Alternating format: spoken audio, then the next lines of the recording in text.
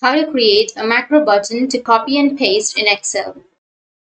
So if you want to create a macro button to copy and paste in Excel, then first you need to open up your Excel application. Once you open up your Excel, now you just need to simply go with a blank or an existing workbook. So once you're here, you need to turn on your developers option. So make sure that you have the developers option. If you don't have that, then you can go with the file and you can go with options. And here you need to go with customize ribbon. And here on the right side, you will have the developer option, right? Simply enable the developer option and then go with OK. And now you will have the developer option. So once you have the developer option, now you just need to simply go with developer option. Under developer, you will have insert, click on insert, and then you need to choose, um, for example, I'll be just enlarging this one. Go with insert and go with the first option. And here you need to choose a box and give it a name. For example, I'll be giving it demo and then go with OK. And now you need to go with the upper left, which is record macro. Click on that and give it a name. Again, I'll be giving it demo and then go with OK. Now right click on any one of the cell that you would like to copy and then go with copy option.